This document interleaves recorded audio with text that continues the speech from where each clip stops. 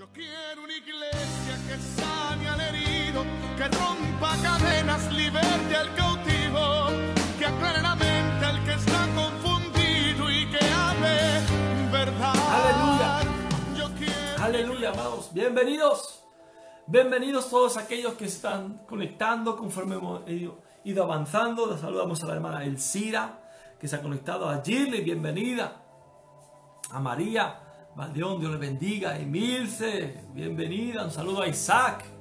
Se me ve ya con ganas de abrazarlo, con ganas de besarlo. Guapísimo que está. Lo que no me gusta que tiene más pelo que yo. Ahí ya no.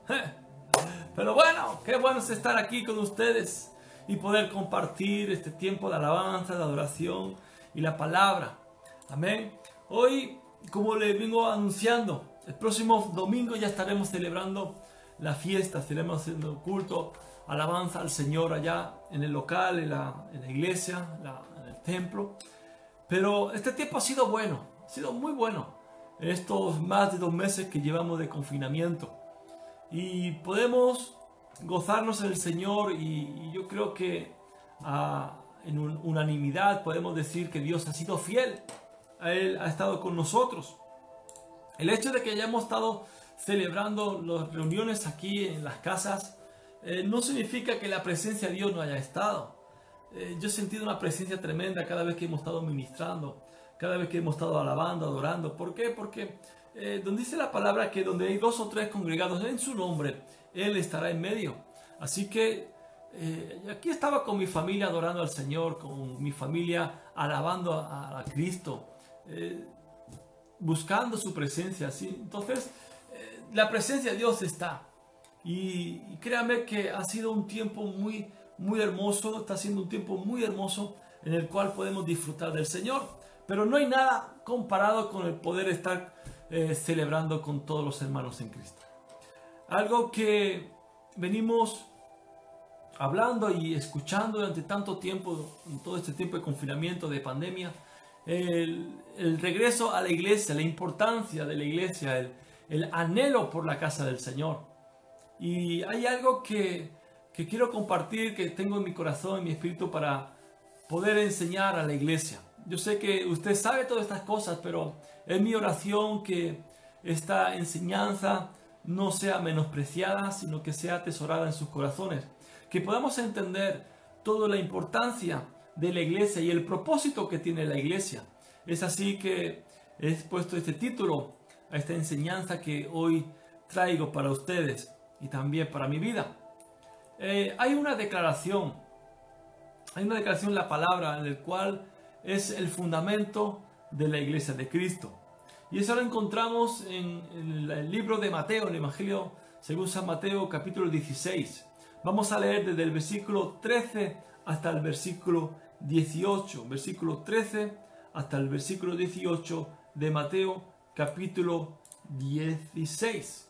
Amén. Así que, como siempre, tome su Biblia, su libreta, su bolígrafo, tome notas y podamos caminar en línea con lo que el Señor quiera hablar a nuestra vida en este día.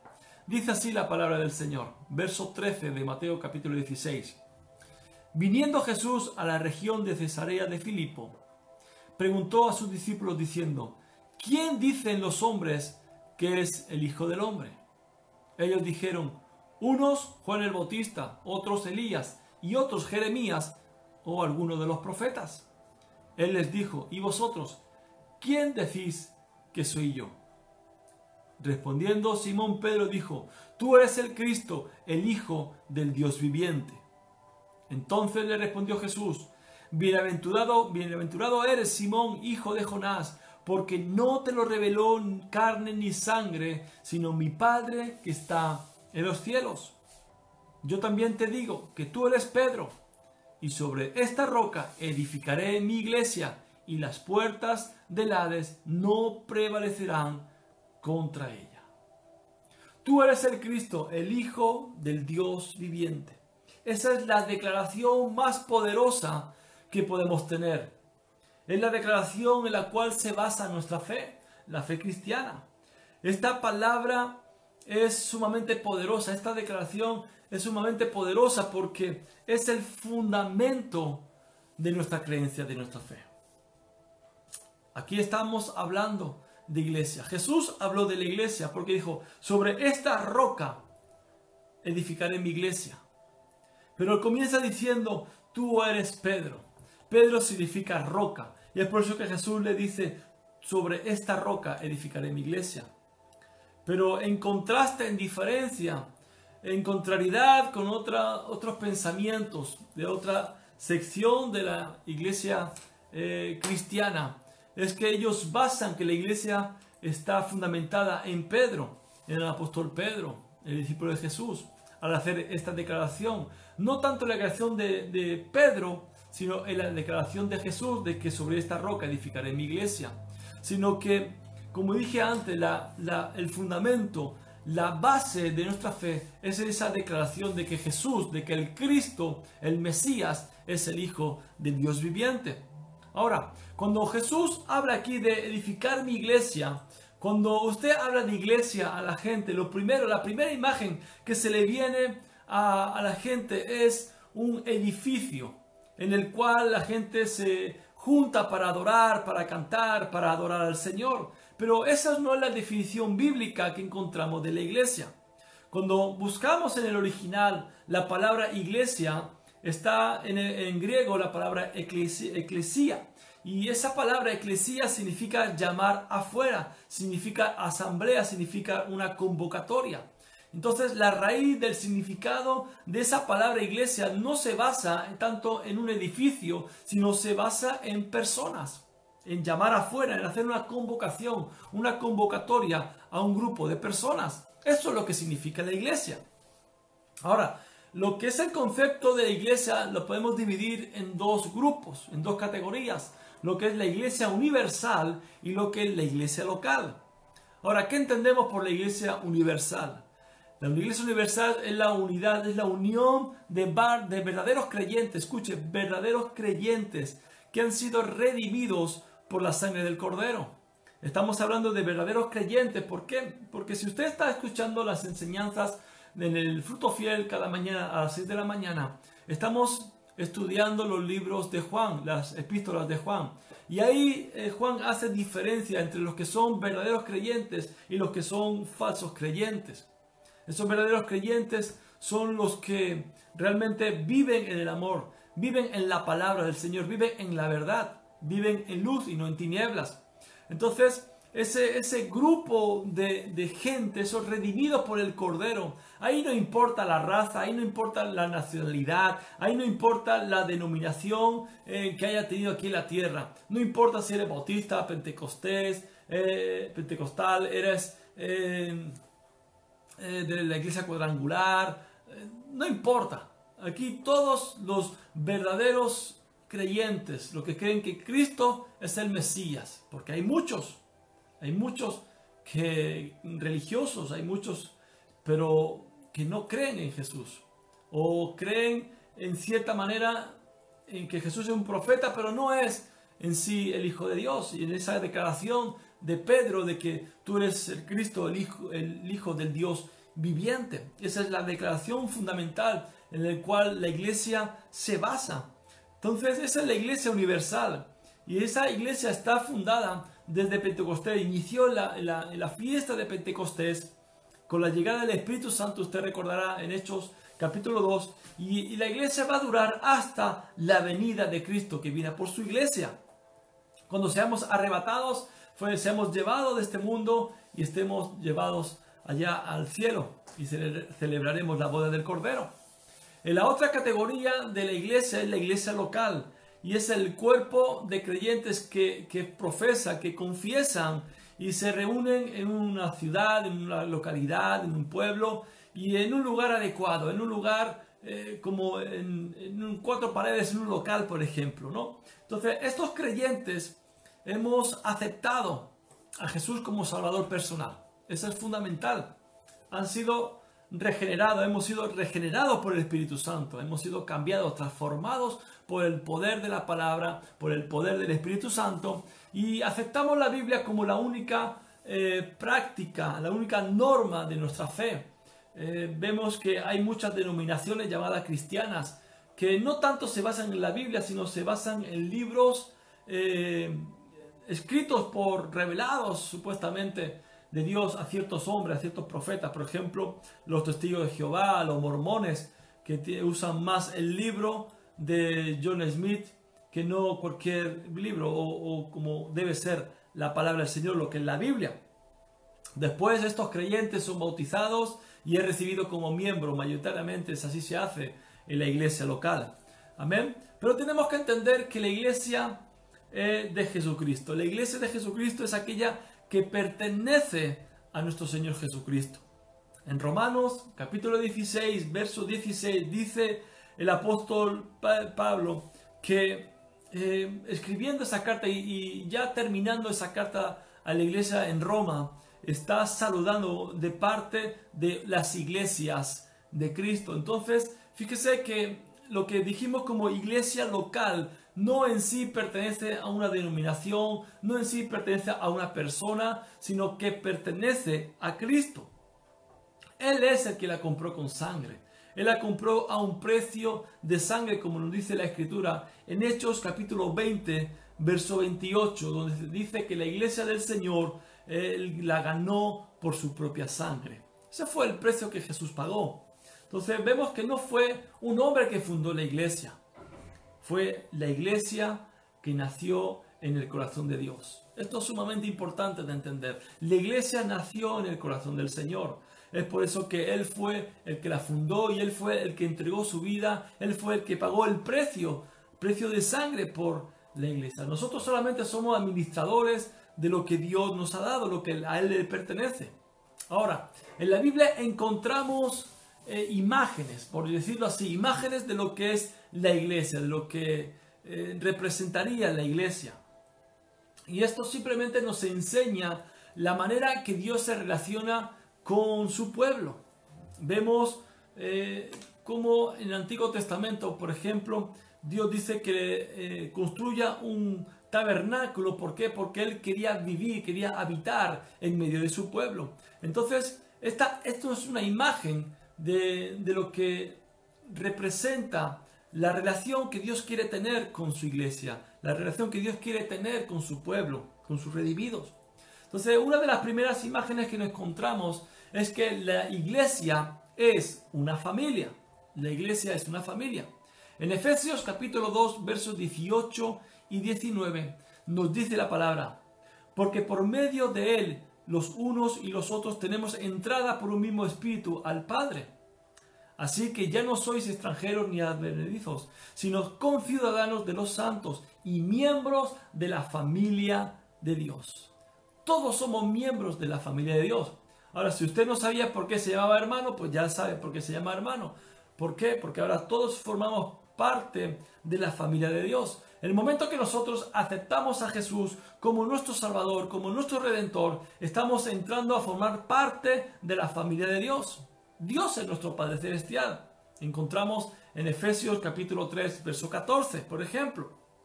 Y también encontramos en la palabra que Jesús es el primogénito de muchos hermanos, como dice en Romanos capítulo 8, verso 29. Entonces tenemos que entender que si somos una familia, tenemos relación entre la familia, entre los miembros de la familia. Algo que hemos estado aprendiendo eh, en estas cartas del apóstol Juan eh, es citando nuevamente lo que él mismo escribió en el Evangelio, en Juan capítulo 13, verso 34.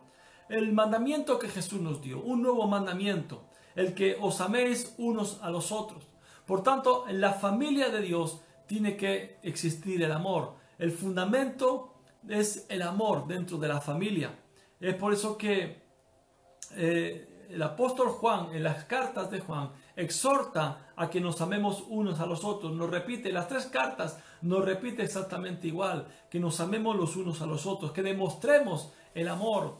Es por eso que este es, un fundamento, eh, es un principio fundamental de la iglesia. Pablo considera el apóstol Pablo considera la iglesia como una familia. Si usted lee en 1 Timoteo capítulo 5, versículos 1 y 2, es ahí donde nos dice cómo debemos tratar a los miembros de la familia. Por ejemplo, él dice que a los ancianos debemos tratarlos como a padres. a, a los hombres más jóvenes como a hermanos, a las ancianas como a madres y a las más jóvenes como, a, como hermanas. Ese es el trato que debemos tener los unos con los otros dentro de la congregación, dentro de lo que es la iglesia de Cristo. Entonces, vemos que somos una familia.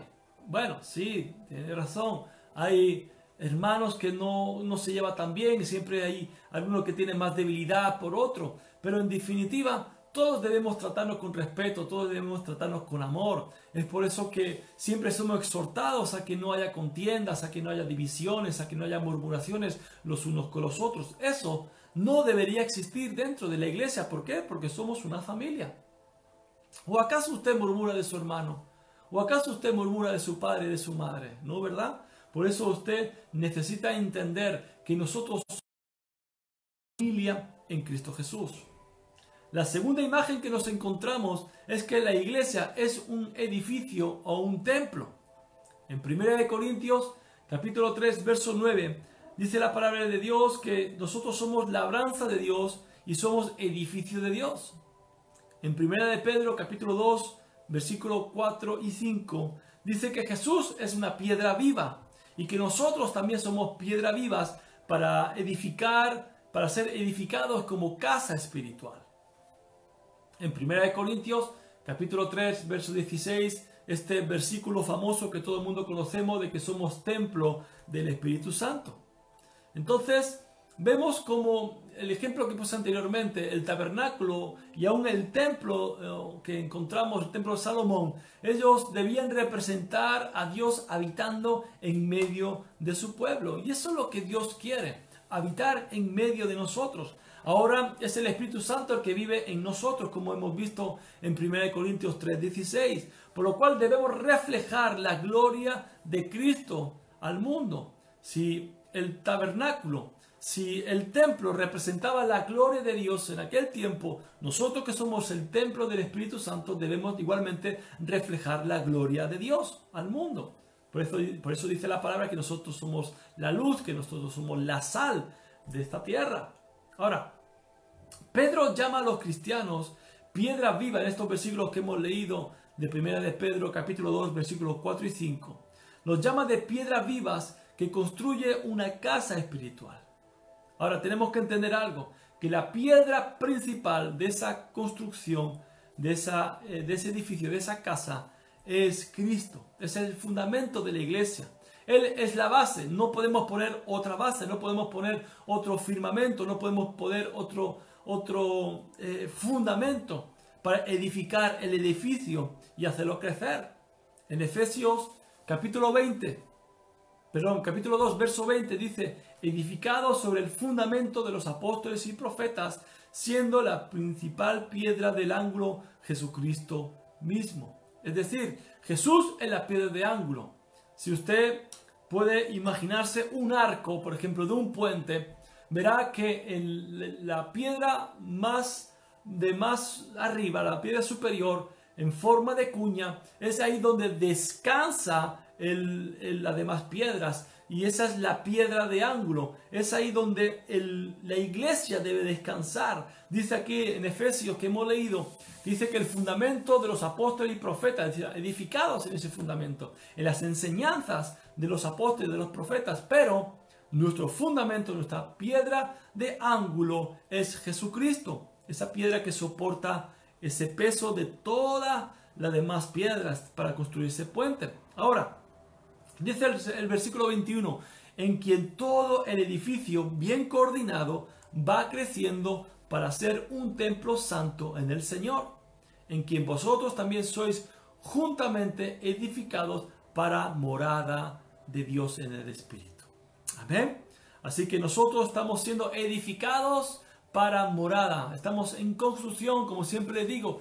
Estamos en construcción. La iglesia no es un lugar de personas sanas. La iglesia no es un lugar de personas perfectas. La iglesia es un lugar de personas enfermas y de personas imperfectas. Por lo cual estamos siendo edificados. Por eso siempre digo, estamos en reforma.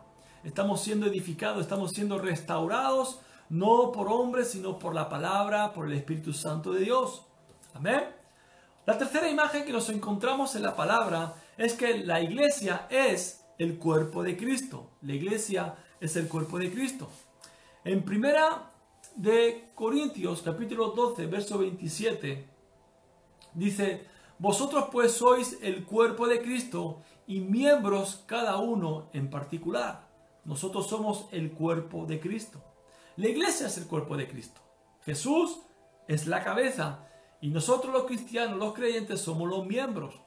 Eso usted puede buscar la cita bíblica de Efesios capítulo 1, versículos 22 y 23, Efesios capítulo 5, versículos 22 al 27 y Colosenses capítulo 1, versículo 18. Ahí es donde habla acerca del cuerpo de Cristo, que la iglesia es el cuerpo de Cristo.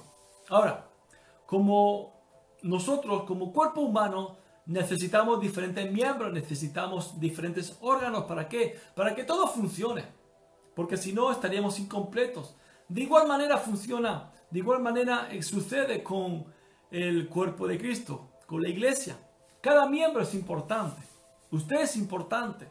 No, no es el tiempo de menospreciarse, no es el tiempo en que, ay, es que yo no sé, yo no tengo, yo soy de tal color, yo soy de tal nacionalidad. Y muchas veces eh, la iglesia se menosprecia, pero no, cada miembro es importante. Nada eh, debemos menospreciarnos. ¿Por qué? Porque debemos apreciar la diversidad de cada uno de nosotros. Cada uno tiene un don, cada uno tiene un talento, cada uno tiene una personalidad, cada uno tiene una gracia de Dios para poder participar dentro de la iglesia de Cristo. Entonces, nadie se debe tampoco sentir superior. Nadie puede menospreciarse, pero mucho menos nadie debe sentirse superior, nadie debe sentirse orgulloso. ¿Por qué? Porque todos necesitamos de todos. El objetivo es usar cada objeto, cada, cada eh, don que Dios nos ha dado, cada talento que Dios nos ha dado. ¿Para qué? Para que todo el cuerpo funcione de una manera correcta, perfecta y de esa manera glorificar a Dios. Porque esa es la finalidad, glorificar a Dios. El cuerpo de Cristo tiene que glorificar a Dios. En Romanos capítulo 12, versículo 4 y 5, dice la palabra, porque de la manera que un cuerpo tenemos muchos miembros, pero no todos los miembros tienen la misma función, así nosotros, siendo muchos, somos un cuerpo en Cristo y todos miembros los unos de los otros. O sea, somos un solo cuerpo. La mano no le puede decir que no pertenece al cuerpo. La oreja no le puede decir que no pertenece al cuerpo, se puede independizar. No, todos formamos parte del cuerpo. Cada miembro forma parte fundamental del cuerpo. Entonces, por eso tenemos que entender de que el cristiano no puede vivir, vivir aislado. El cristiano no puede decir, no, yo no me congrego. ¿Por qué? Porque eh, yo prefiero congregarme en casa. En casa también puedo orar. En casa también puedo leer la palabra. Sí, correcto, es cierto. Pero la palabra también nos exhorta, nos enseña que debemos congregarnos. En Hebreos capítulo 10, verso 25, nos dice la palabra que no dejemos de congregarnos como algunos tienen por costumbre. Y más ahora que Cristo está volviendo, que está llegando ese día. Escuche, entonces es necesario entender que como familia, que como cuerpo necesitamos estar juntos. Cuando usted no se congrega, es como si a mí me quitaran la nariz aparte de no ver, no vería. ¿Por qué? Porque se me caerían las gafas. Entonces, usted, necesito que usted sea mi nariz, que usted sea mi eh, oreja. Amén. En el sentido de que Cristo es la iglesia. Somos, formamos parte de la iglesia. Por tanto, necesitamos los unos de los otros. Entristecemos el corazón de Dios. Entristece nuestro corazón no verle congregado. No saber que usted eh, está con nosotros. Eso entristece, entristece nuestro corazón. debemos trabajar, debemos vivir en la unidad. Eso se trata de la iglesia, eso se trata del cuerpo de Cristo, en vivir en la unidad, pensando en el bien común, no pensando en nosotros mismos, no pensando en nuestro interés personal, sino pensando en la unidad, pensando en la congregación, pensando en el bien común. Usted sabe, por su propio cuerpo, sabe que si sufre algo, en algún un dolor, en algún miembro, todo el cuerpo se resiente, todo el cuerpo lo sufre. Así lo expresaba en 1 Corintios capítulo 2, verso 26 el apóstol Pablo. Nos dice que todos los miembros se duelen de él, cuando un miembro padece, así mismo. Entonces, si usted está enfermo espiritualmente, no se piense que solamente usted, los demás lo estamos sintiendo, los demás lo estamos viviendo. Por eso necesitamos de su comunión, necesitamos que usted se congregue con nosotros, necesitamos que usted sea fiel, que usted entienda que forma parte de Cristo, que forma parte de la iglesia de Cristo. Amén. Otra imagen que encontramos en la palabra es que la iglesia es la novia de Cristo. La iglesia es la novia de Cristo. En Juan capítulo 3, verso 29, se lo voy a leer en la traducción del lenguaje actual. El apóstol eh, o el profeta Juan, el bautista, estaba diciendo estas palabras. Dice, en una boda, el que se casa es el novio y el mejor amigo del novio se llena de alegría con, él, con solo escuchar su voz. Así de alegre estoy ahora porque el Mesías está aquí. Por tanto, Juan estaba representando a Jesús como el novio y la iglesia es representada como esa virgen pura que espera la venida de su esposo. Tenemos que entender algo para, para poder comprender bien esta, este versículo. El contexto eh, cultural de aquel entonces en Israel y aún hoy en muchos, muchos países de Oriente se, se sigue practicando. Es la costumbre de que el novio debía pagar una dote. Ahora, ¿Qué es la dote? La dote es el precio, es el aval en dinero o en bienes materiales que eh, el novio tenía que dar para tener el derecho a casarse con la mujer. Por ejemplo, cuando Saúl ofrece a David eh, a su hija para casarse, David dice, ¿y quién soy yo? ¿Quién es mi familia? Si somos pobres, no vamos a poder pagar esa dote. Y es ahí cuando Saúl dice, bueno, pues traiga... Eh, traiga 100 prepucios como dote de los filisteos, los 100 prepucios de los filisteos. Y es ahí David donde dijo, bueno, si te, tú me has pedido 100, yo te voy a traer 200. Y ahí él trajo, esa fue la dote, ese fue el derecho con el cual él pudo pagar, el aval con el que él pudo pagar ese, ese, ese compromiso con la hija de Saúl. Entonces la dote sirve para que eh, haya un compromiso con la novia, pero en el caso de que el novio no cumpla con, el, con esa promesa, pues entonces esa dote sirve para poder quedársela a la novia en compensación, por decirlo así. Entonces, vemos aquí en ese contexto cultural cómo Jesús, al morir en la cruz, eh, lo hizo con mucho amor, lo hizo con mucho sacrificio, pero vemos que Él pagó esa dote por nuestras vidas. Él pagó el precio necesario por usted y por mí, por su esposa. Usted y yo somos la esposa. La iglesia es la esposa de Cristo. Somos la novia de Cristo. Amén. Entonces, en esos tiempos bíblicos había un tiempo donde desposarse, donde comprometerse. La novia y el novio estaban separados durante todo ese tiempo. No es como ahora que me comprometo y me voy a vivir juntos y, a ver si funciona y si no funciona cada uno por su casa. No. Antiguamente, en aquel tiempo, eh, había un tiempo de desposorio, un tiempo de desposarse. Y entonces el novio y la novia estaban separados, cada uno en su casa. Y es ahí donde podemos ver ese símil con la iglesia actual, con este momento actual, donde la iglesia está separada del novio momentáneamente. ¿Hasta qué?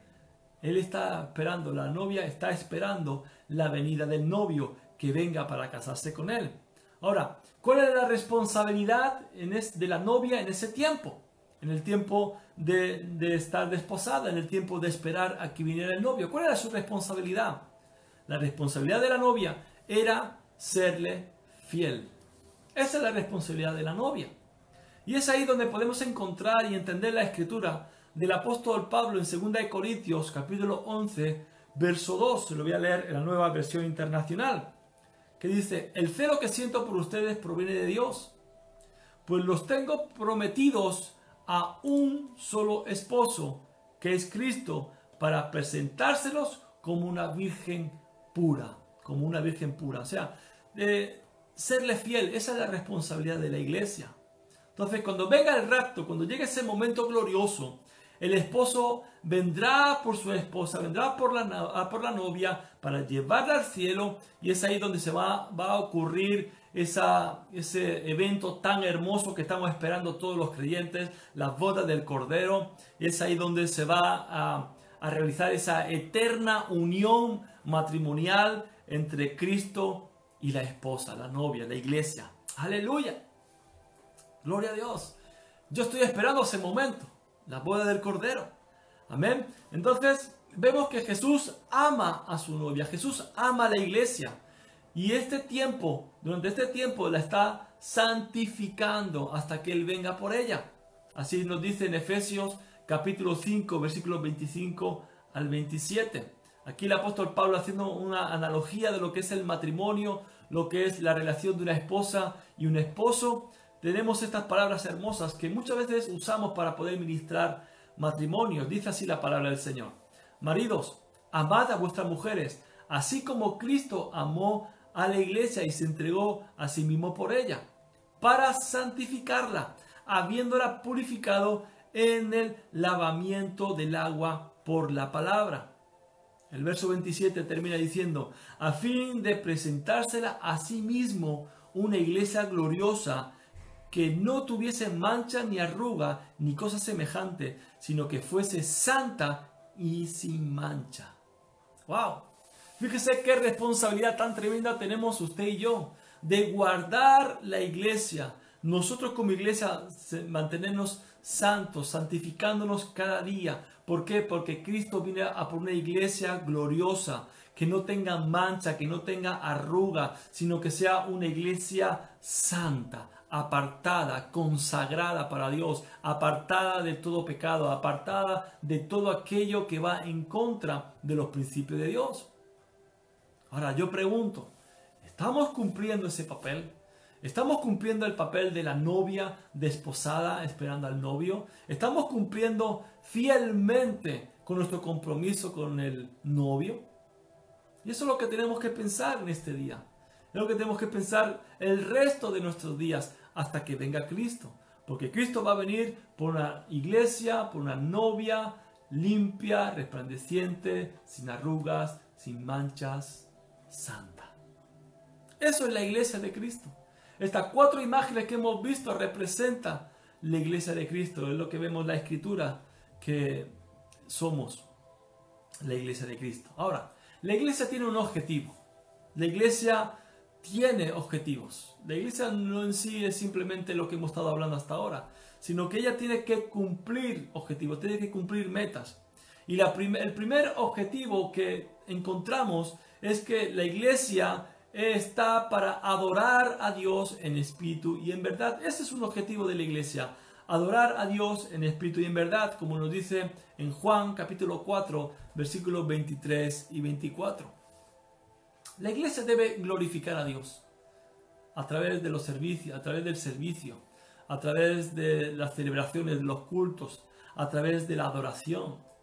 Cuando hablamos de glorificar, tenemos que entender que glorificar significa reconocer su grandeza, la grandeza de Dios, darle el honor que Él merece. Y eso también habla de obediencia, eso también habla de consagración. El glorificar a Dios no es simplemente hablar de boca. La palabra dice, este pueblo de labios me honra, pero su corazón está lejos de mí. Y eso es una realidad. Entonces, cuando no estamos consagrados, cuando no estamos en obediencia a Dios, no podemos glorificar a Dios. Es sumamente importante que nuestra vida sea una vida de obediencia, una vida de consagración, todos los días. Todos los días consagrarnos, todos los días santificarnos. Porque como dijimos anteriormente, somos la novia que estamos esperando al esposo, estamos esperando al novio. Ahora, vamos a adorar en espíritu y en verdad, hemos dicho en este, en este primer objetivo. Ahora, adorar viene del griego proscuneo, que significa postrarse, arrodillarse delante de alguien. Entonces nos postramos, nos arrodillamos delante del Señor y eso, eso es una actitud humilde. Por tanto, adorar en espíritu y en verdad habla de humildad de nuestra vida, humildad de nuestros corazones. Y, entiendan algo, siempre les digo lo mismo y por eso les animo a que siempre sean ustedes adoradores, siempre que estén alabando a Dios. ¿Por qué? Porque todo nuestro ser, cuerpo, alma y espíritu deben estar conectados con Dios en el momento de la adoración. Muchas veces eh, cuando estamos al frente y, pedimos al pueblo que adore, eh, escuche, ahí, ahí está en cuerpo, pero su alma y su espíritu o está durmiendo o está en la playa o está cocinando. Porque muchas veces no, no hay ese mismo, esa misma conexión en el espíritu, no hay esa misma conexión eh, en su cuerpo, está presente, pero está, está distraído, no, no está adorando en espíritu y en verdad, no hay una obediencia, no hay una consagración. Es por eso la necesidad y siempre insistimos, insistimos en que usted adore en espíritu y en verdad, en que usted se congregue y haga una adoración verdadera, genuina, con humildad. Esa es la esencia, esa es la esencia de la adoración en espíritu y en verdad. Ahora, cuando adoramos en espíritu y en verdad, Dios trae consolación. Es ahí donde verdaderamente usted va a saber si está adorando en espíritu y en verdad, porque Dios va a traer consolación a tu vida. Dios va a traer sanidad interior e incluso física a su vida con el momento que usted adora en espíritu y en verdad. otra característica para saber si estamos adorando en espíritu y en verdad es que Él va a renovar nuestras fuerzas. Cuando usted se siente cansado, abatido, y usted comienza a adorar, usted comienza a alabar al Señor, es ahí donde Él comienza a renovar tus fuerzas. Otro síntoma es que rompe cadena, usted se siente con mucha opresión, usted se siente eh, así con, con una pesadez. Y es ahí donde Dios comienza a romper esas cadenas. ¿Se acuerdan cuando Pablo y Sila estaban en la cárcel, estaban encadenados, tenían grilletes en sus manos y en sus pies y, comenzaron a alabar al Señor? Dice que creó hubo un terremoto, las cadenas se soltaron, las puertas se abrieron de la cárcel. Y eso es lo que provoca la alabanza, eso es lo que provoca la adoración, rompe cadenas. Si abren las puertas de la cárcel donde el Satanás ha querido introducir, trayendo opresión, trayendo tristeza, trayendo amargura, trayendo depresión a su vida. Amén. Entonces, fíjese qué cosa más tremenda es orar, adorar en espíritu y en verdad. Y otro, otro síntoma es que recibimos milagros. Cuando oramos, adoramos en espíritu y en verdad, recibimos un milagro de parte de Dios. Es algo tremendo. Por eso insistimos tanto, tanto en la adoración. Yo oro al Señor para que eh, tengamos una identidad de adoradores en espíritu y en verdad. Oro al Señor para que su iglesia no sea una iglesia distraída durante la adoración, una iglesia que ni siquiera le quiere levantar las manos, yo oro al Señor para que llegue el día en que desde el púlpito no tengamos que decirle, iglesia, levante las manos y adora al Señor, sino que verdaderamente sea de su interior, algo que nazca en su interior, algo que, que sienta y sepa, porque esto es de saber, esto es de conocer de lo que Dios ha hecho en nuestra vida. Y por agradecimiento, por obediencia, por nuestra consagración a Él, levantamos nuestras manos y adoramos en espíritu y en verdad. Escuchen, nuestra alabanza nunca y esto siempre le digo, nunca debe estar condicionada por nuestros sentimientos, por nuestras circunstancias. Por si las circunstancias fueran, escuchen, en este tiempo de pandemia nadie estaría adorando, nadie estaría alabando. Al ver las noticias, los muertos, la tristeza, la angustia de estar encerrados, nadie estaría adorando. Pero en cambio nosotros adoramos en cambio nosotros alabamos. ¿Por qué? Porque hemos entendido que nuestra, nuestras circunstancias no van a condicionar nuestra alabanza a Dios. Nunca, escuchen, nunca permitas que tu queja se escuche más que tu alabanza. Nunca permitas que tu queja se escuche más alto que tu alabanza. Tu alabanza se tiene que escuchar por encima de cualquier circunstancia. En cualquier situación que te encuentres, levanta tu voz, grita, alaba, canta, salta, haga algo, pero que no se escuche tu queja, sino que se escuche tu alabanza. Amén. El segundo objetivo que tiene la iglesia es proveer comunión, proveer comunión. En Hechos capítulo 2, verso 42, ahí encontramos los pilares fundamentales de la iglesia primitiva y que eso debe ser hoy día la esencia de la iglesia actual. Entonces la iglesia debe proveer un lugar de compañerismo, un lugar donde la familia en Cristo, como dijimos antes, debe convivir fraternalmente, debe convivir de una manera agradable, de convivir de una manera eh, como le gusta a usted vivir en su casa. ¿A quién le gusta vivir con pleitos? Vivir con contiendas, vivir cada uno enfadado, cada uno en su habitación sin hablarse, el, no, o estar sentado en una mesa para poder comer, ver malas caras, malos rollos, como se suele decir. No es verdad. Entonces debe proveer comunión. La iglesia debe orar, la iglesia debe ser un lugar donde se honre los unos a los otros, como dice en Romanos capítulo 12, verso 10. La iglesia debe ser un lugar donde se instruyan unos a otros, como dice en Romanos capítulo 15, verso 14. O sea, si yo veo a un hermano que está creciendo en la fe, que está nuevo en la fe, ayudarle, en lugar de ser una piedra de tropiezo para que él se aparte, tengo que ser un instructor, tengo que ser alguien que edifique su vida con palabras de, salvación, con palabras de edificación, con palabras que le exhorte, que le anime a seguir avanzando, a seguir cambiando. Pero muchas veces somos piedras de tropiezo, iglesia, y esto hay que decirlo. Muchas veces somos un ejemplo, un mal testimonio para aquellos que son nuevos. Mucho más, mucho peor todavía para aquellos que aún no creen en Cristo, que por eso no quieren creer en Cristo. Porque hablamos de un Cristo que, sana, que restaura, un Cristo que cambia la vida, que transforma las vidas y nos ve criticándonos, nos ve peleándonos unos con los otros. ¿Dónde se queda entonces? ¿Dónde se queda entonces esa enseñanza, ese nuevo mandamiento os doy, como dijo Jesús, que os améis los unos a los otros? Escuche, estaba hablando a los discípulos, estaba hablando a su iglesia, no estaba hablando a los incrédulos, está hablando a aquellos que creían en Cristo Jesús. Y eso es lo que tiene que proveer la iglesia, un lugar donde se amen los unos a los otros, como dice en Juan, primera la carta de Juan, capítulo 3, verso 11 que hemos estado aprendiendo en estos días. La iglesia debe proveer comunión también y ser benignos y misericordiosos los unos con los otros como dice en Efesios capítulo 4, verso 32. Eso de estar señalándose con el dedo, juzgándose los unos a los otros. Iglesia, eh, tenemos que entender algo. Somos familia. Y en lugar de estar señalándolos, en lugar de estar echando más leña al fuego, en lugar de hacer eh, eh, leña del árbol caído, en lugar de restaurar nosotros que somos espirituales debemos ayudar, debemos edificar, debemos restaurar con mansedumbre aquel que ha caído. Ser benigno y misericordioso, ¿por qué? Porque aquel que piense estar firme, procure que no caiga, dice la palabra del Señor. Entonces, la iglesia tiene que animar unos a otros a avanzar.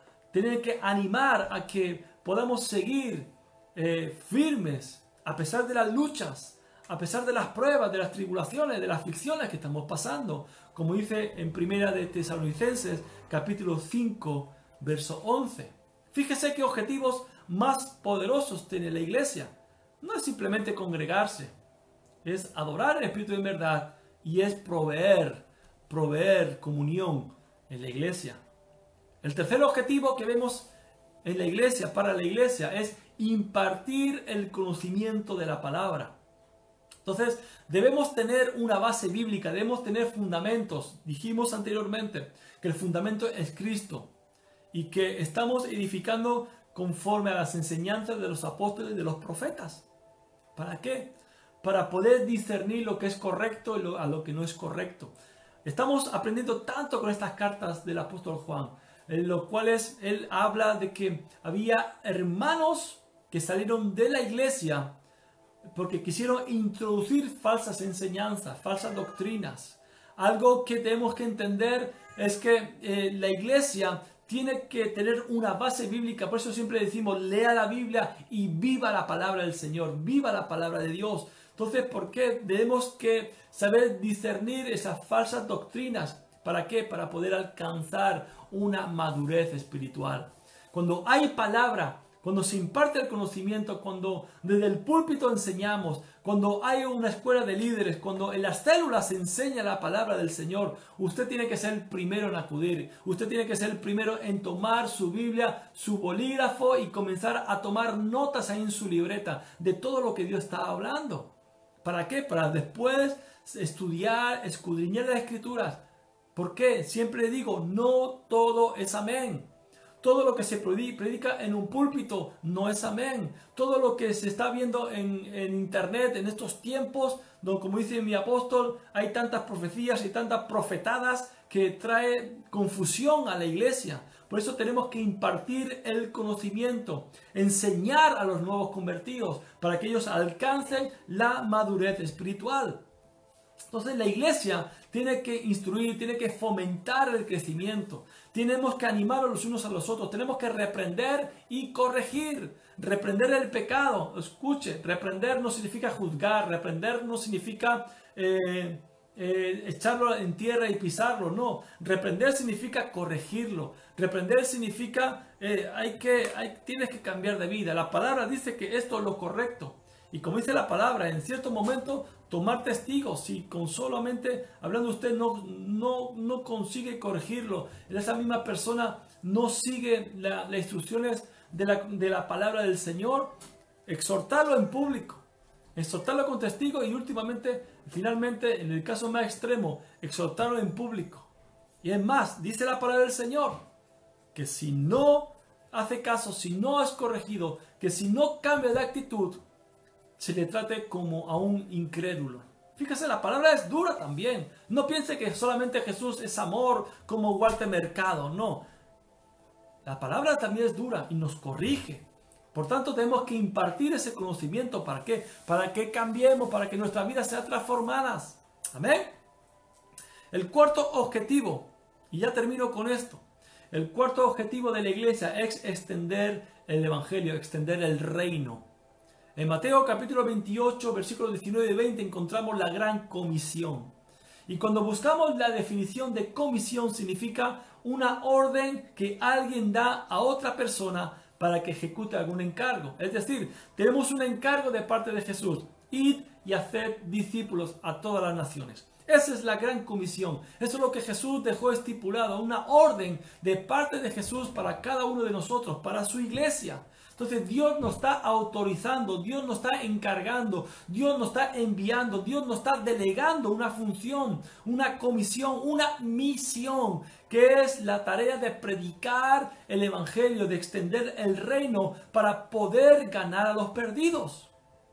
Una iglesia que no predica, una iglesia que no evangeliza, es una iglesia que ha perdido su esencia. La esencia de la iglesia es predicar el Evangelio, es ganar a los perdidos. Es por eso que nosotros evangelizamos. ¿Cómo? A través de las células. En las células compartimos la palabra. En las células evangelizamos. Son, son células donde se enseña, pero aparte se evangeliza. ¿Por qué? Porque es la palabra de Dios lo que se está enseñando ahí. Predicamos, el Evangelio, cada vez que contamos nuestro testimonio, cuando hablamos con la gente de lo que Dios ha hecho en nuestra vida, eso es evangelizar también. Por tanto, usted no se puede quedar callado. Usted no puede permanecer sentado en una silla domingo tras domingo. Usted tiene que levantarse y comenzar a predicar. Ay, no, yo pienso que no voy a predicar hasta que no tenga un púlpito. Si usted está esperando un púlpito, escuche. Se lo va a tener que hacer usted mismo. Porque Dios no respalda esas acciones.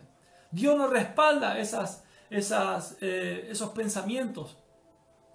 Dios quiere, y de hecho te ha puesto un púlpito desde el momento que te convertiste, para declarar, para darle gloria a Él y para poder llevar a los perdidos al conocimiento de la verdad.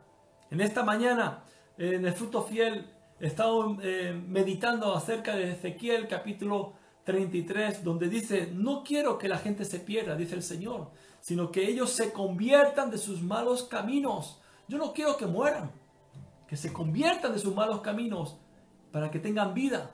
Y eso es el Evangelio. Escuche, el mensaje principal del Evangelio es que no hay salvación en otro nombre que no sea el nombre de Jesucristo, como dice en Hechos capítulo 4, versículo 12. No hay otro nombre donde haya salvación.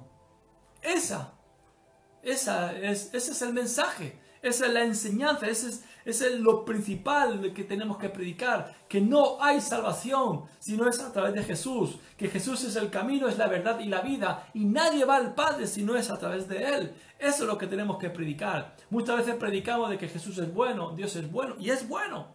Dios tiene misericordia y tiene misericordia. Dios hace milagros y Dios hace milagros. Dios restaura. Dios restaura. Sí, todo eso. Y, el otro día compartía con los chicos de la célula que tenemos un, mensaje muy light. Tenemos un mensaje donde Dios te da todo. Tenemos a, a, Jesús como la lámpara maravillosa que la frotamos y queremos que Dios haga con nosotros lo que nosotros queramos. Y nos estamos olvidando de predicar de que hay vida eterna en el cielo o en el infierno. Y si no coge, si no escoge seguir a Jesús, si no escoge recibir a Cristo Jesús como su Señor y Salvador, van al infierno. Eso se está olvidando de predicar. Predicamos de que Dios te sana, predicamos de que Dios te restaura, predicamos de que Dios cambia tu vida, predicamos de que Dios te prospera. Eso es lo que se está predicando hoy día desde los púlpitos, se está predicando en las calles, se está predicando a las familias y estamos olvidando lo principal, que solamente en el nombre de Jesús hay salvación. Y eso es principal.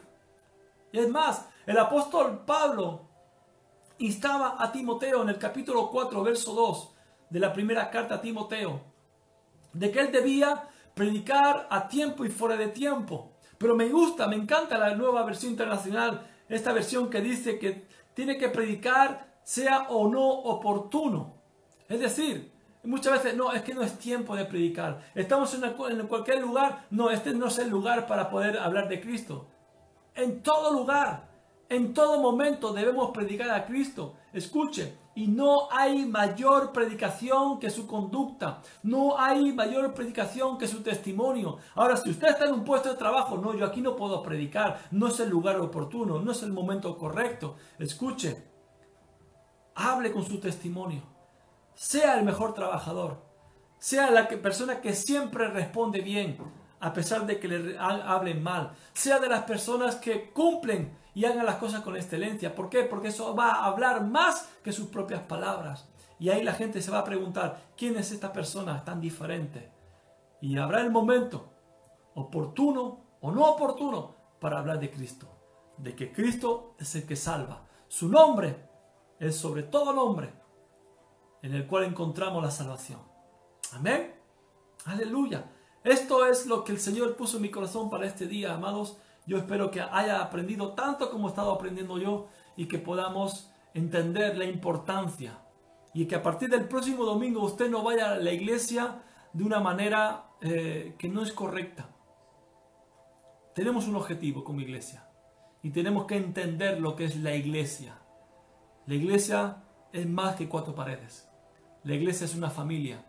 Por tanto, deje los pleitos, deje las contiendas, deje las envidias, deje los celos y pueda amar a los hermanos y pueda eh, crecer y pueda tomarse ese momento, esas dos horas que dura el culto, usted pueda adorar en espíritu y en verdad, usted pueda aprender la palabra y pueda practicar la palabra.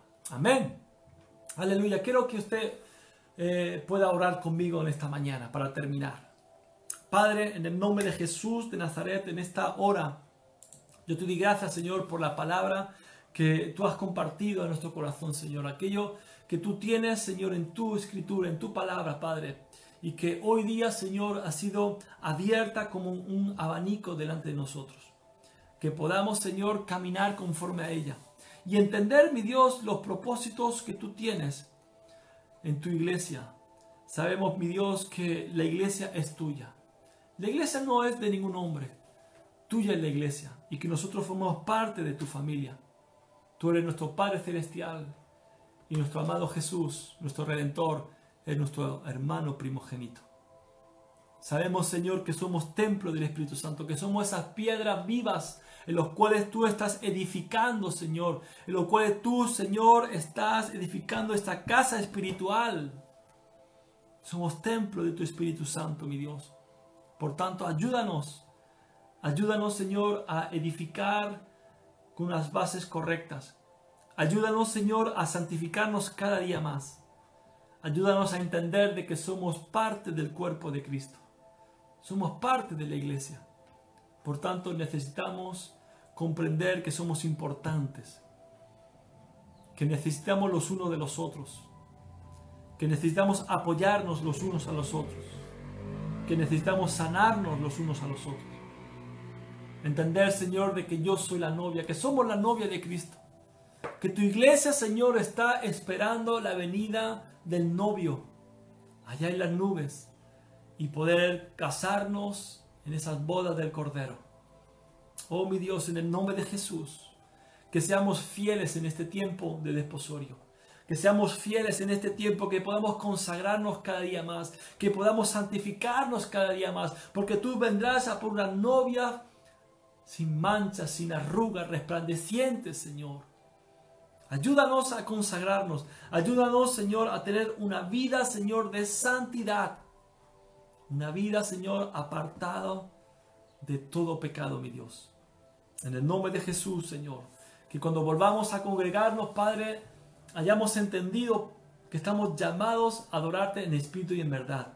Que mi cuerpo, mi alma y mi espíritu tienen que estar acordes, Señor unánimes para poder adorarte, para poder danzar delante de tu presencia, para poder levantar nuestras manos, para poder levantar nuestra voz y exclamar con palabras, con gritos de júbilo, Señor, lo que tú has hecho, Padre. Y perdónanos, perdónanos si nuestra queja se ha escuchado más que nuestra alabanza. Nos comprometemos, Señor, en este día a cambiar nuestra actitud y ser una iglesia, Señor, que te adore, en espíritu y en verdad. Que podamos, Señor, honrarnos, que podamos proveer esa comunión que necesitamos los unos de los otros, que podamos, Señor, instruirnos, que podamos ser benignos, misericordiosos los unos con los otros, ayudarnos si hay algún hermano que cae, ayudar a levantarse, Señor, y no pisarle más, como el mundo, Señor, suele hacer. Padre, que seamos una iglesia que impartamos conocimiento de tu palabra, que haya una sana doctrina, Señor, que alcancemos esa madurez espiritual y que podamos ser usados para extender tu reino, para extender el Evangelio, que cumplamos la gran comisión de ir y hacer discípulos, que podamos comprometernos con la visión de la iglesia para ganar vidas, para llegar, Padre amado Señor, a llenar tu reino de esos perdidos que son redimidos por la sangre del Cordero. En el nombre de Jesús de Nazaret te damos gracias, te damos gloria y te damos honra. En el nombre de Jesús. Que rompa cadenas, liberte al cautivo, que aclare la